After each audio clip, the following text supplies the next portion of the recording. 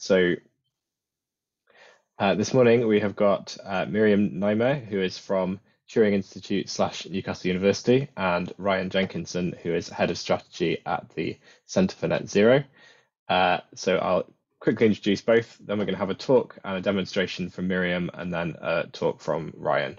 So uh, Myriam is a group leader at the Alan Turing Institute and a senior research associate at Newcastle University. She's been working in the e-mobility sector for over 10 years and collaborating with the automotive and energy industry on EV charging infrastructure and interaction with the electric grid. Myriam sits on advisory boards advancing solutions to decarbonise transport and electricity and has secured over 1.3 million pounds of funding from UK research and innovation to investigate smart charging and vehicle to grid flexibility in mass deployment conditions. And then uh, Ryan's the head of strategy at the Centre for Net Zero, which is a research unit founded by Octopus Energy. He leads high impact research projects that deliver fast, fair, and affordable energy transition and acts as a critical bridge between the centre's technical work and broader uh, engagement activities. Prior to joining CNZ, Ryan was the lead data scientist on the commercial electric vehicle trial Optimise Prime. That's a great name. Uh, his models and tools provide insights that enabled Uber to understand optimal allocation of public charge point infrastructure in London. In addition to this, through the analysis of real-time telemetry data, he helped Royal Mail establish how their petrol and diesel fleet could transition to electric vehicles whilst trialing innovative flexibility services to the grid. Okay, so Myriam, please uh, take it away. Uh, we'll have all the talks and then we'll have questions at the at the end, please. But if, in the meantime, if you think of a question, you can put it in the chat as we go. Great, thank you, David. I'm uh, happy to be here. Uh, so our mission is to uh, decarbonize, de democratize electricity distribution network analysis. Understanding how electricity networks are coping with the change in electricity demand and generation is key for a successful transition to a better energy system. However, there is a gap between those with the data and capability to understand electricity networks and those working on other parts of the energy transition jigsaw. So what you're seeing here is um, a screenshot when you access the website that you see below, and I also posted a link to it, of our electric vehicle network analysis tool. Event analyzes the impact of electric vehicles and other low carbon technologies on electricity distribution networks. As you can see, event is accessed through a web browser and presents the user in one place with relevant network simulation parameters. And this is what you can see on the top half, and a choice of several electricity network models, for example, an urban network or an urban rural network, demand and generation data that are built in in the tool options to change the penetration levels of uh, these data.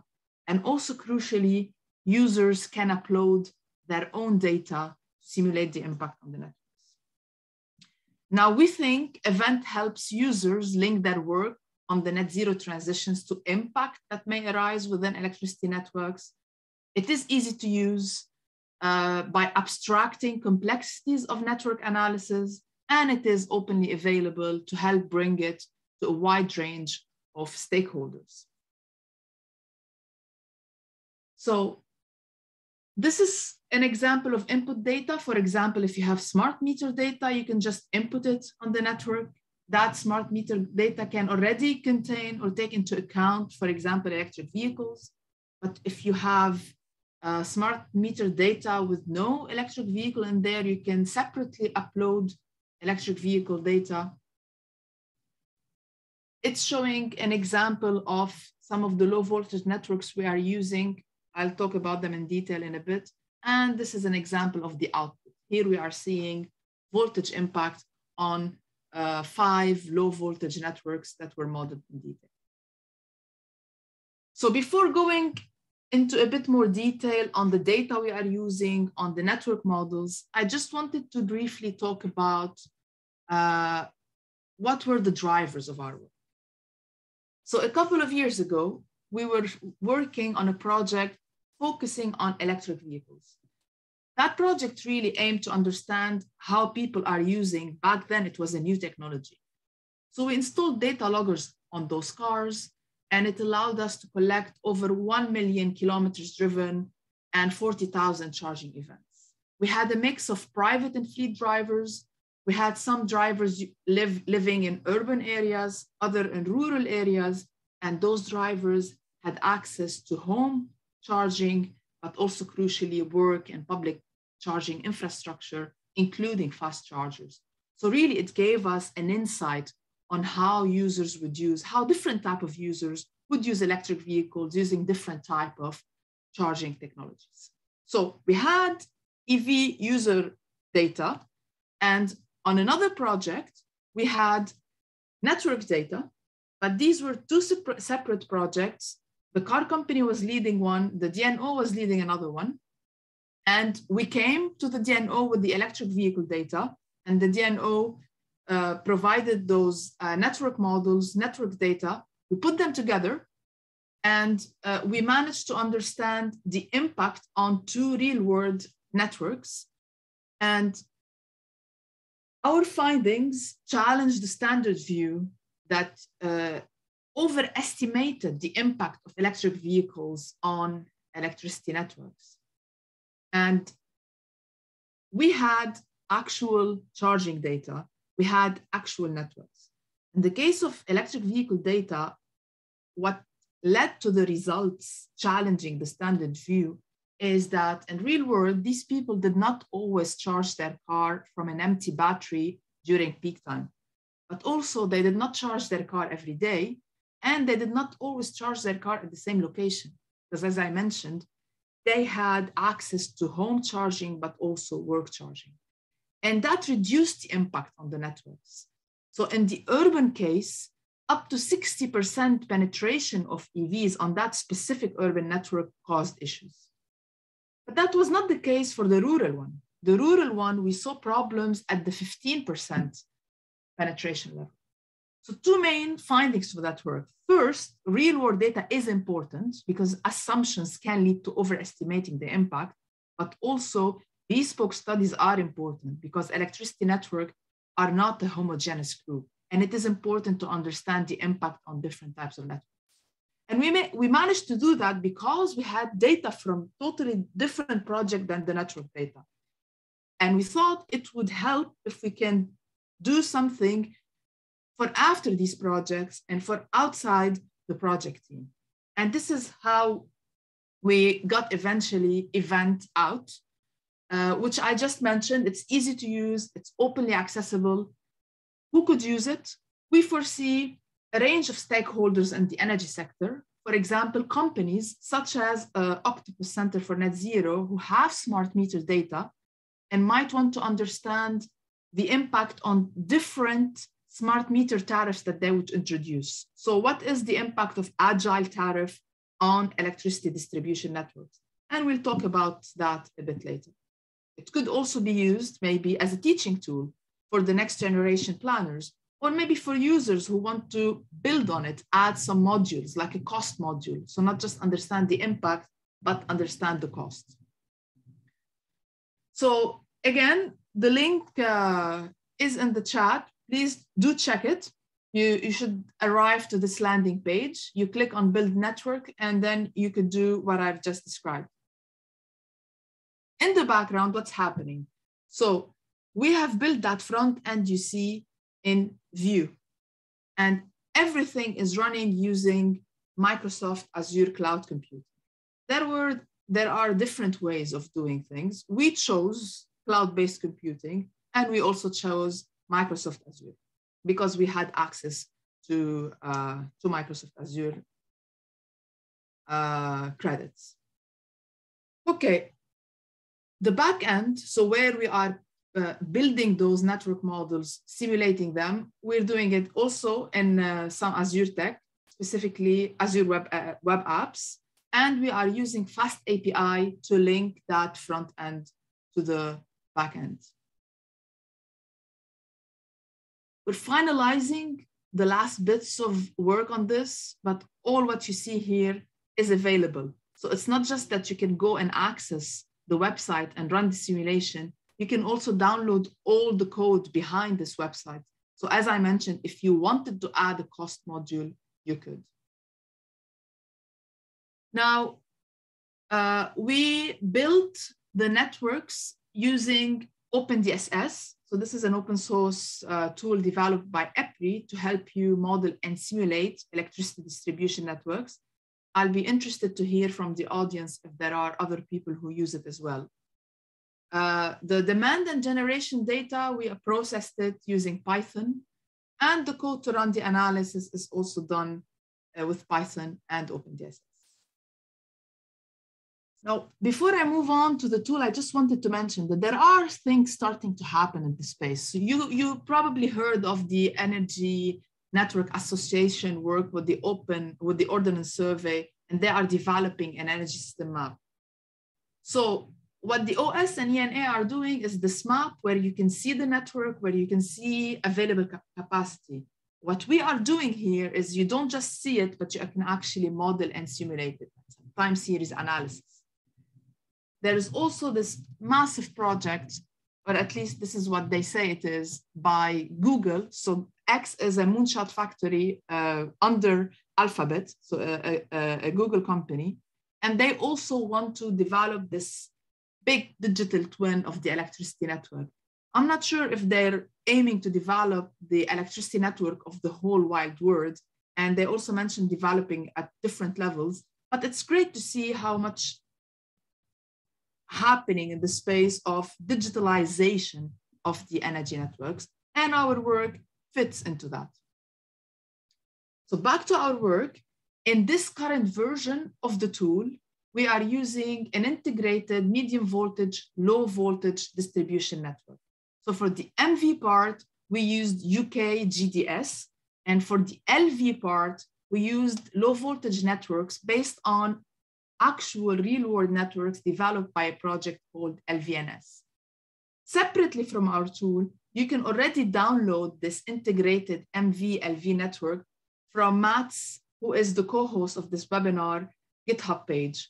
And also Matt wrote the simulation code and the network model behind event. So any in detail questions on the networks, please take it with Matt. So I mentioned that right now, in this version of events, we have this UK GDS LVNS generic network. This is a pseudo-real network. So it is not an actual network that exists in real world, except the LVNS part, but it is representative of a UK network. And both projects has been validated by DNOs. So we're confident that when we're running a simulation with this network, we're getting reasonable results. But what if we want to know what's happening on an actual network, on an actual MV-LV network?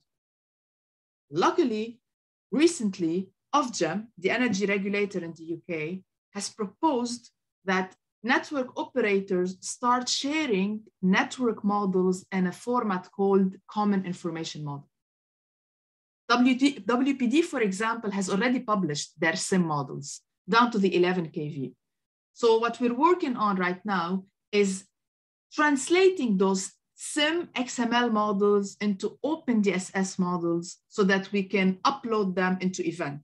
And then in the drop-down box of event where you have the urban network, the urban rural network, based on this UKGDS network, you'll have also a lar larger list where you can simulate an actual, for example, WPD network so I spoke about the networks, but another important component of our tool is the data. And over the past couple of years, more and more energy data is becoming available. One of them is an electric vehicle charging data from the uh, from WPD, from their Electric Nation trial. And they have made 18 months worth of uh, charging data available from both 3.7 kilowatt and 7 kilowatt chargers. Now, working with the data required a bit of work from our part, so we did need to process that data and make it usable. And you can access it as part of the tool. And when our GitHub repos uh, become available, you can also download these 18 months worth of data. We have also made available photovoltaic data. So this website called PV Output is a website where users who installed photovoltaics uh, are making their data available. That's great because researchers like us can go to that website, download a bunch of PV data from one area and do some network analysis. So the data is available in five minutes and some, uh, some data is available in 15 minute resolution. What we have done is we processed it into 30 minute resolution and also made it available on the tool. Obviously, you can see here that uh, in winter, there is much less PV output compared uh, than in the summer, both in terms of the duration of when you can have that in the day, but also in the power capacity. Uh, a couple of more things to talk about on data. Uh, at uh, Newcastle, uh, there is this new, really new and shiny uh, fast charging station hub that contains six fast chargers. Four of them are 50 kilowatt and two of them are 175 kilowatt chargers. So those 175 chargers are quite new. You don't see a lot of them yet. Uh, partly because not all cars can charge at that high uh, power. And uh, the company who installed and running this charging station is called Fastned. And they, provided us with around uh, 251 charging days at 30 minute power values from the site. So we couldn't make available all that information available because it is commercially sensitive. So they don't want to divulge how well is doing the site, for example but they let us uh, include in the event tool a couple of aggregated profiles that give you an idea of what a fast charging station could do if installed on a network. And some data that is not available in the tool, but part of why we developed that tool. Uh, we have a, a project called e4Future where we're collecting data from vehicle to grid chargers. Now, if I wanted to understand what is the impact of that charging technology, like this, not just charging, but also discharging, then I can get the data similar to what you're seeing here. Uh, but this is just showing the power of the charger following the frequency. So it is this discharging. Uh, the charger would discharge if there's a drop in frequency, as an example. I could take that time series of the V2G charger, put it in event, and understand the impact of V2G. So after this future project finishes or any other entity that has data of vehicle to grid chargers can use it to understand the impact on the network. And finally, data from uh, Octopus. So Ryan, who will also be talking about their work in Octopus, provided us with around 100,000 smart meter data. And this smart meter data is excellent because it has so much variety. So it had usage before the lockdown, use, usage during and after the lockdown, uh, usage from households who do not have any low carbon technologies, uh, cold days usage, weekend usage, uh, households with electric vehicles and heat pumps. So you could understand those different variables on the networks. And this is what we're doing now in a collaboration with Ryan and Octopus Center uh, for Net Zero. You're seeing here examples of those profiles coming out of the event tool. So we have urban versus rural uh, users, and some of them have low carbon technologies, some of them don't. And you can see, for example, uh, the peak with rural users is a bit higher than with the urban users. And when you have uh, low carbon technologies, those octopus users have shifted their peak to midnight. And most probably, and Ryan can comment on that, those smart meter tariffs are much cheaper uh, at midnight. So people are using the cheaper tariffs to, for example, charge their cars. So we use this data with event to uh, run the network analysis. And here we can see the uh, voltage impact on the rural network without low carbon technology and with electric vehicles and heat pump. And the immediate thing we notice here is the voltage drop. It is still within statutory limit, but there is a voltage drop. This is for the urban as well, uh, a, vol a voltage drop with EVs and heat pumps, but really no issues on the network voltage at MV.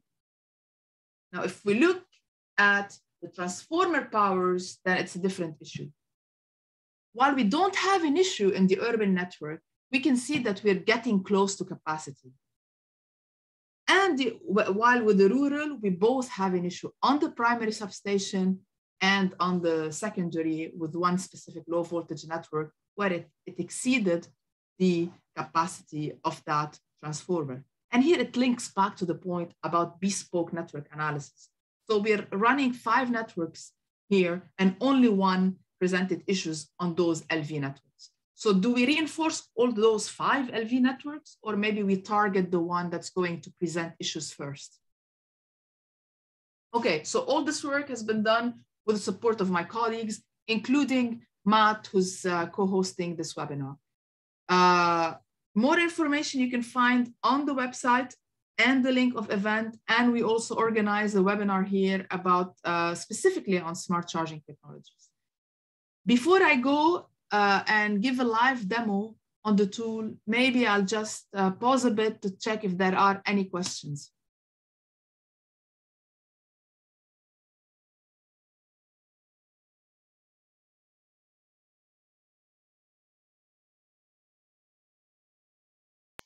Hi, Myriam. Yeah, there are a few questions I think in the chat. Um, Okay.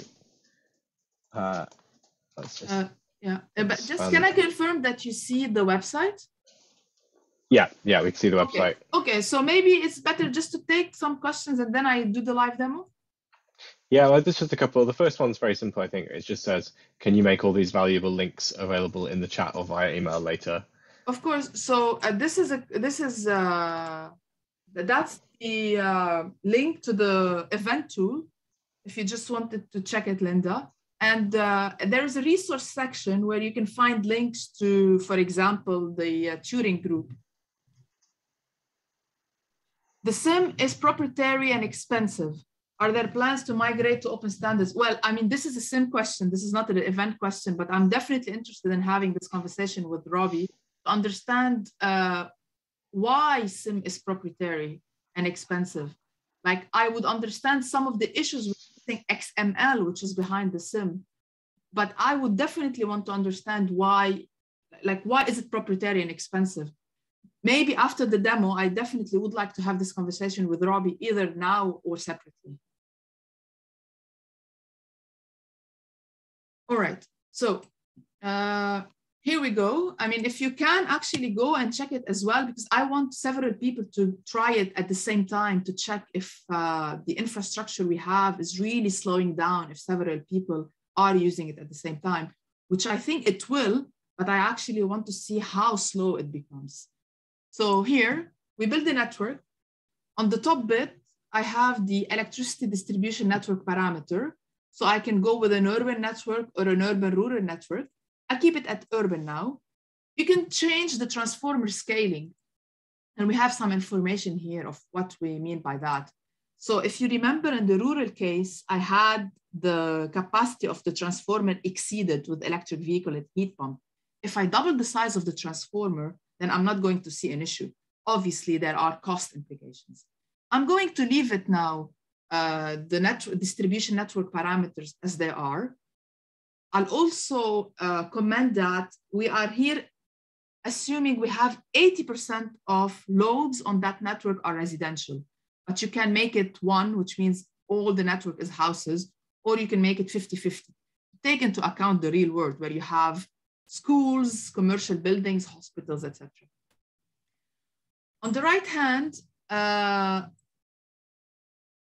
the default is simulating low voltage networks that are close to the MV substation. But you can also choose networks that are near the edge, so really far from the MV substation, and you could expect maybe to see more voltage drop issues there.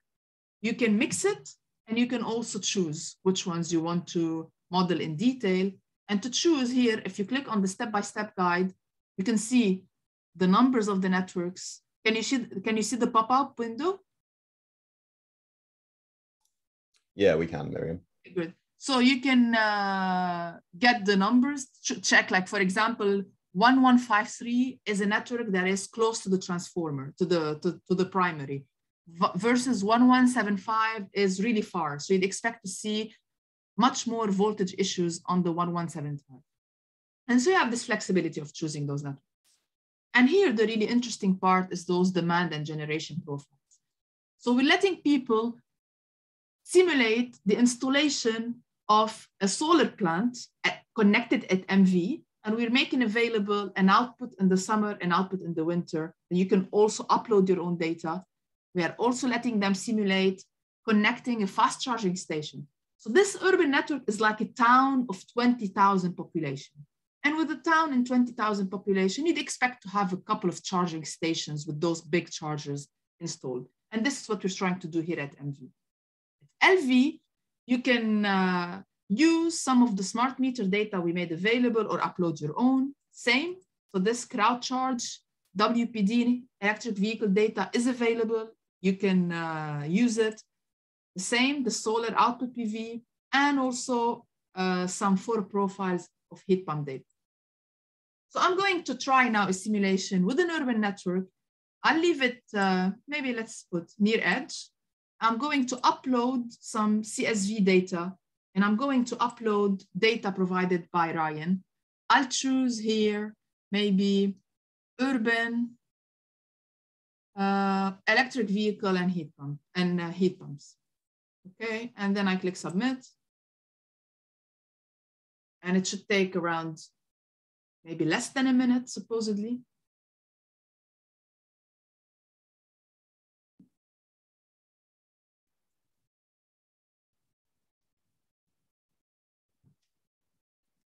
And we can see, so those five networks that we, low voltage networks where the houses are actually connected, modeled in detail, we're seeing definitely issues with 1145 1165, there are voltage drop issues around midnight and he and around the usual peak.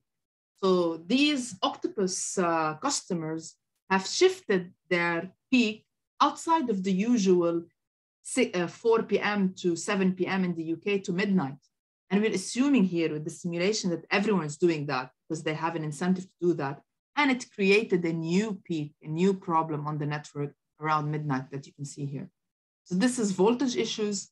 We can see also transformer powers. There are no issues on the transformer powers, neither on the subst uh, neither on the primary nor on the secondary. Uh, the yeah, the, the primary feeder loading, so those cables outside of the primary, one of them is having an issue.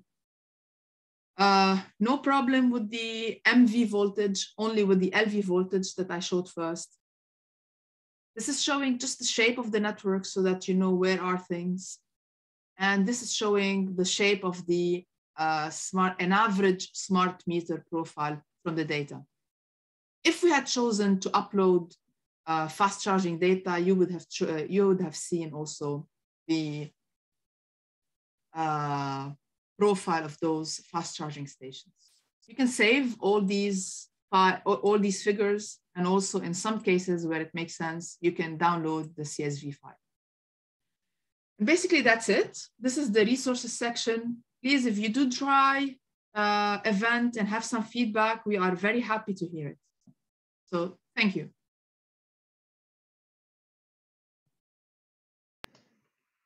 And I guess now it's over to Ryan. Yeah, thanks, Myriam. So Ryan, if you uh, get your slides going. Yeah, let's give this a go. So hopefully you can see um, some slides, full screen. Yep. Cool. Um, so yeah, just uh, very briefly before I start. So, so yeah, I'm I'm Ryan, and I work at Octopus Energy Centre for Net Zero. My background is, is really as a data scientist at electric vehicles. Um, as was mentioned at the start, are really kind of close to my heart, working on a on an electric vehicle commercial trial for quite a while. So really great to be speaking to you all today. Uh, but this this side of the talk will be speaking just a little bit about who we are because we're quite a new team. Uh, then I'll talk about this collaboration specifically and just kind of talk a little bit more about um, the types of customers we have and tariffs and how that kind of differs from uh, different uh, like other data sets in the literature, and then I'll kind of talk about where this work kind of fits into the stuff that we're uh, doing and uh, part of our research agenda. Um, so just really briefly, it was kind of covered at the start, but we are a research unit founded by Octopus Energy. Um, and basically, we're just trying to uh, do some research looking at faster, fairer, and more affordable energy transition. So we, we really work at the intersection of tech, energy, and climate. And we've got on our team people who are kind of policy and climate policy people, but also people who are kind of data scientists, data engineers, um, and I, I think we believe that by by having that kind of team spread, we're kind of maybe quite unique from maybe like a think tank or or, or somebody else. So we we really are a kind of data driven research unit, um, and I guess our overall principle is trying to build a better kind of future energy landscape with the various partners that we work with.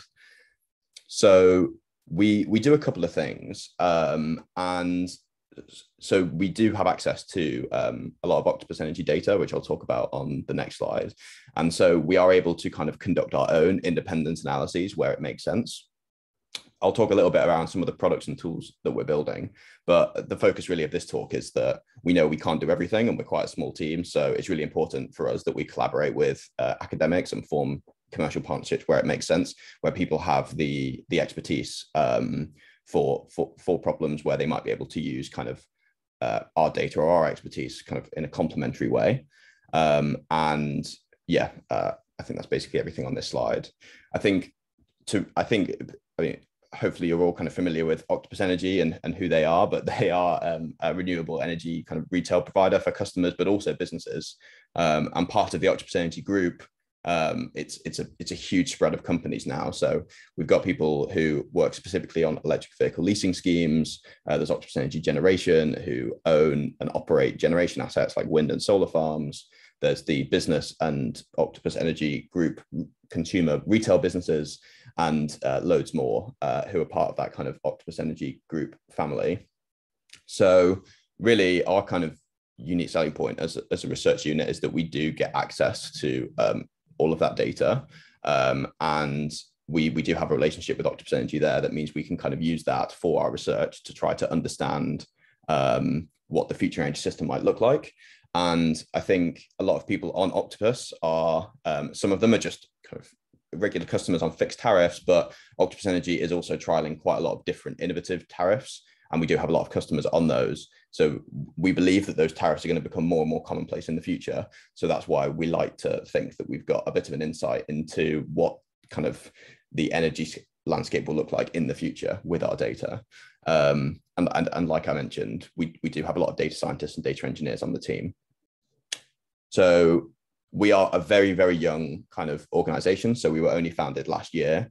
Um, and in, in, case you didn't know about Octopus Energy, they um, operate now in 14 countries and they actually license their Kraken software to uh, various different energy suppliers. So they actually kind of operate um, or they kind of kind of uh, serve kind of 25 million customers globally um, through that. So we do have access to um, a, a, lot of that data.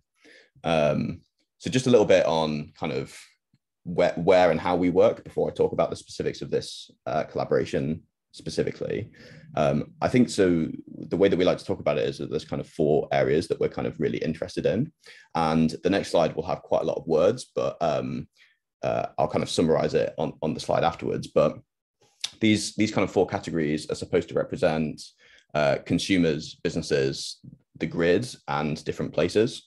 So um, we believe that in each of these kind of four areas, what we're really interested in researching is how these different uh, entities, who are going to be a massive part of the future energy system, how they behave today and how they might behave in the future, how they can use technology to enable that, and what the kind of policy ramifications and implications are. So how can we better design policy to to kind of unblock um, kind of yeah uh, uh, barriers that um, is is kind of in our way. So these are the kind of four areas. I won't talk about the, I w- I won't go into all the detail, but really we can summarize this as so there's, there's quite a lot there, but we know that we can't cover all of that uh, as a small team. So because we have access to a lot of the Octopus Energy data, specifically for consume like consumers, customers, but also businesses.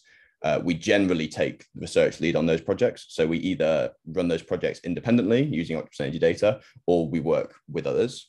And uh, yeah, we we're specifically interested in working with people who are interested in looking at the energy transition, uh, looking at kind of automation, um, but also um, yeah, just interesting ways that they might be able to use our data. We know that we're not like full experts on um, the grid, so distribution network operators, but also ESO. So what we tend to do there is form partnerships with people who have more uh, knowledge than us in that space, and we complement that with kind of our experience in consumer behavior or business uh, understanding, but also we can provide data uh, in that case as well. So to kind of summarize some of the previous research we've done before I talk a, a lot about this partnership, we've done we've done a few kind of um, uh, academic partnerships and collaborations where so for in an advanced infrastructure collaboration, we looked at using our data to understand heating demand in London and what that might look like on the LV substation network. Uh, with Crampton Associates, we were looking at um, low carbon technology uh, behavior and how receptive people were to price signals, so their price elasticity. Um, we've done some independent research on looking at how people adopt heat pumps, which should be published uh, before the end of the month. Uh, and then we've got this partnership, which I'll talk a little bit more about now, uh, which was kind of also looking at uh, the LV, but also MV level, uh, but also looking at kind of potentially different um, consumer behaviors in, in the smart meter data that we have. So just really quickly on the data used in the collaboration. So Mir- Myriam touched on this. we so we sent through some aggregated smart meter data. So there's no customer information about their MPAN or location, but we did uh, give some interesting variables to break it down by. So um, a cold winter, a mild winter, or, or summer. And what you can see in this graph, um, I think Myriam probably presented slightly nicer graphs than I did. But what you can see is that typically customers without any low carbon technologies will have this kind of quite typical kind of four till seven peak. Um, and typically they'll use more energy in the winter compared to the summer, hence this line is on top. Um, and yeah, that's just yeah due to heating. Um, we also sent through um, customers who have an electric vehicle and who um, smart charge uh, from basically 30 minutes past midnight uh, onwards. And the reason for this, so th- th- this bottom graph here is supposed to show all, all of the customers who are on this tariff called Octopus Go. And uh, some of those customers will have a charging event, which kind of looks like this. And some of them, they might just like not charge that day or something like that. So we can identify this as like them potentially charging versus them not. And these are the average profiles of charge events. And the, the reason why this um, this kind of real world behavior that we see in Octopus Go is kind of different from a lot of other data sets also uh, in the literature that uh, that Myriam presented is that this tariff specifically incentivizes people to charge overnight. So it actually has really, really cheap rates from 30 minutes past midnight until uh, 4.30 in the morning. There are some various different differences in, in the tariffs, but, but usually it's overnight. And that's 5p per kilowatt hour charging, uh, which is really cheap uh, in the current market. It has actually just gone up to seven and a half p per kilowatt hour. But if you have an electric vehicle, uh, then it would definitely make sense for you to be on this tariff, and uh, you can kind of set your charge point uh, uh, to just kind of automate against those those times. And the reason why that's different from a lot of previous charging behavior, perhaps in the early or mid 2010s, would be that typically people would have just come home from their day of work and kind of immediately plug in and start charging. And so actually it would just exacerbate this kind of typical um, evening peak. Whereas what we see in our customers, because we have specific tariffs designed to incentivize a shift in behavior, is that actually we see effectively all of our electric vehicle customers do charge overnight. And so what we wanted this project to explore is like, does that create a new peak? And does that create potential problems for the LV network? And as Myriam just showed, um, the answer is that it might do in some situations. We also sent through some data um, for customers who don't just have electric vehicles. So they might have um, solar or battery um, um, low carbon technologies. So in which case they can't go on Octopus Go because that's an electric vehicle only tariff. but what Octopus also offers is something called the Agile tariff. So in the Agile tariff, price it, you, you get notified at four o'clock on one day what the prices are going to be for the following day. uh, and prices are ha- half hourly, supposed to kind of be reflecting the, the wholesale market prices. Uh, at the moment, the prices are basically always at the price cap, so um, it's not that that great at the moment. But um, for the date for the period that we sent the data through, prices were really varying around these times. So here is just a typical kind of um, Octopus Energy agile pricing um, where there are is generally cheap cheaper in the morning when there is uh, a lot of supply compared to demand. It's typically really expensive during the kind of yeah four till seven window, and customers who have a battery or kind of solar uh, but don't have an EV might choose to go on the Octopus Agile tariff because they know that they can, for example, charge up their battery overnight and use it during these more expensive times. And I, I think this is a kind of typical fixed cost during it at the same time. So you can see that it is actually cheaper. So what this graph over here shows is these are the customers who have battery and solar. And what you can see is that, uh, yeah, typically they would actually charge overnight and they have a less pronounced peak um, during peak hours. So we like to believe that these tariffs are kind of quite different from a lot of the stuff that's that's in the literature. And what we wanted to understand through this collaboration was how do these behaviors manifest themselves uh, on, on the side of the grid and the LV network. Um, and it's important to understand as we start to promote and design all of these new tariffs, which incentivize a shift in behavior, how we can actually make that um, uh, a, a good thing for the grid as well. So ju- just to say, we will be releasing a blog post soon on the different types of energy demand profiles that we see in our data and how they vary. So one thing we want to do with our research is move away from kind of quite average profiles and really look at the variability um, in the data, which is kind of what Myriam showed, looking at the uh, percentiles uh, and so on. So just really quickly on how this work fits into kind of our current work um, and, and, what we're thinking about. So um, as I mentioned, we want this work was specifically looking at designing a grid fit for the future. And we believe that using real world data is, as, as Myriam also um, said, one of, the, one of the best ways to do that. And we've got data for customers on very different tariff types um, with, uh, and I think proportionally quite uh, a lot of low carbon technologies compared to um, other energy suppliers.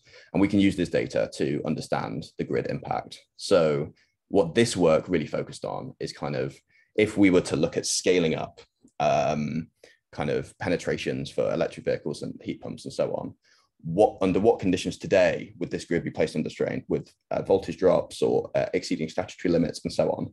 Um, so that's really what this work looked at. And I guess the where this sits into our current thinking is kind of whenever we kind of have, have sat down and kind of crunched through all the findings for this work, how can we mitigate against uh, these the conditions that that lead to the grid being placed under strain with potentially different demand profiles and can we um, maybe at Octopus Energy or as the research lab informing Octopus Energy, how can we incentivize such behavior? So can we design tariffs that give the grid long-term stability? Or is it that um, maybe in the future, as these DNOs transition to more service-based models, is it that actually um, one-off events to be able to turn down uh, your demand uh, might be um, might, might be the way to to mean that we don't need to do network reinforcement, which is quite costly. So one project that Octopus is involved in is something called CrowdFlex, uh, and you can look this up online. So this is a, a, trial. Well, the first phase is already finished, so the report is out with uh, National Grid ESO looking at if we were to send an email to customers asking them to turn down their demand or turn up their demand, um, are they first of all do they even want to sign up to such a thing? Uh, but also for those who do sign up what is the kind of success rate of them actually effectively turning up or turning down their demand? So really using consumers as a kind of demand side response resource. Um, and uh, national grid's really keen to understand the potential of that. And we're we're really start we're, we're starting to develop a bit more work along that um, kind of theme of thinking uh, with crowdflex. Um, and the, the, kind of what, what that really shows is that electric vehicles and using smart charging is one of the electric vehicle owners are are are really really good at turning down or turning up their demand basically shifting their demand around because it's quite a lot of uh, load on the grid and typically they only need to charge for kind of a couple of hours anyway. So we, we've we found some early insights there and where we want our work to to go in the future with this is that um, so looking at flexibility generally is a really important area for us. I'm really interested to have some conversations along those lines. like I say, that uh, the grid is really interested in trying to quantify the impact of this and what is the size of the opportunity for commercial or kind of consumer flexibility. But also, is it possible for us to move beyond Go? So with Octopus Go, we gave this kind of four-hour window where pricing was really cheap. But what we just saw in Myriam's talk is that that could potentially create a new peak. So another product or tariff that Octopus has out is called Intelligent Octopus. And what Intelligent Octopus does is it says uh, currently it's it only works for a few vehicle models, but they're kind of expanding that. Is kind of if you just tell us what you want your ending state of charge to be, uh, and what time you want it done by, we will manage your charge during that window. So uh, instead of it just being um, that you charge at kind of the maximum rate, but uh, like almost like deferred charging, which is what happens on Go. So you're still charging at seven kilowatts, but you're just shifting it what Intelligent Octopus does is kind of dynamically um, kind of uh, make sure that you uh, charge during that window. So you might not charge at the kind of maximum capacity and so on. And they might be able to, in the future, if the grid gave them the appropriate signals, to be able to, to automatically, like through automation, respond to these kind of um, grid constraint events, um, but also ensuring that the customers uh, kind of uh, default settings are still uh, kind of adhered to. So the customer will always wake up with their their vehicle on 80% or 90% state of charge, whatever default they set it by. But Octopus, if you like, manages the charging in the background. So in terms of our current activities, we are really in the next kind of couple of months going to be researching a lot on consumers and businesses so we will be releasing something on the energy demand profiles of our customers with low carbon technologies. And we will be investigating the charging behaviors of customers who own these electric vehicles. So how long are they plugged in for? Um, what times do they start and end charging and stuff like that. We're also this what this work showed us is that we we um, there's a lot of appetite to kind of really explore uh, th- this kind of data. So um, different electricity load profiles and um, we're trying to look at ways um, to, to, to, open up that. So whether or not it's um, specific exact rows of customer data is obviously quite difficult with GDPR, but if we can build models that, that generate realistic energy load profiles under certain conditions, then we think that would be really helpful. Uh, and obviously we need to uh, finish this project in par partnership as well. Uh, this, this, this one on the far right is less important uh, for this specific context of, of this call, but we are also interested, and we have another uh, very interesting project looking at how we can kind of co-design future places more specifically taking the grid into consideration so that that's a little bit of our current activities but in, in about two minutes i wanted to do some really shameless promotion uh, which is that if anyone is uh, really looking for a kind of podcast that to kind of dig into these kind of ideas a bit more we do have a kind of um, inside the energy transition podcast uh, on uh, spotify apple podcasts and all of that thing um, so if you're interested in kind of uh, if you're looking for a new podcast, then go and check that out. And the other thing, which I think will be really useful for uh, the, the, audience and community here, is that we are we're starting to host um, some talks looking at um, energy tech specifically uh, in our London offices, uh, in the Octopus Energy offices. Uh, the the first one is uh, next week on Tuesday.